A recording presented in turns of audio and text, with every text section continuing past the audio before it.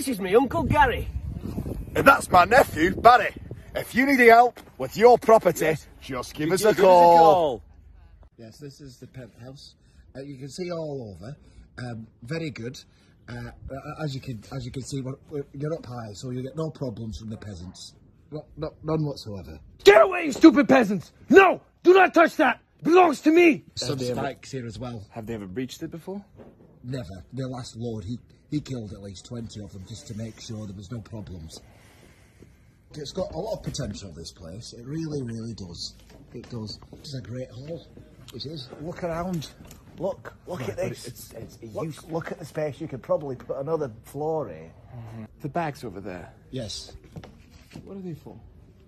whatever you like. The last uh, lord, landlord, he actually used to put heads in it. Heads, human heads. Yes. Hmm. Just obviously to let everyone know in the land that he was in charge, you know. Do they come with the ba- with the with the hall? Gary, Yeah. I think you have a deal. Ho, ho, ho. Gary's lettings and sales. My name's Lord Sihtric, and I just bought my first mansion. Thanks, Gary. All right, my name's Gary. I'm the top lettings and sales agent in all of Bebbanburg. For only 20 pieces of silver, you can have this lovely place. Think about it. A little small bed here, a little bit for a sink over there. Very nice. In the heart of Bebbanburg. But hey, I bought this place from Gary, and this is the best investment I've ever made.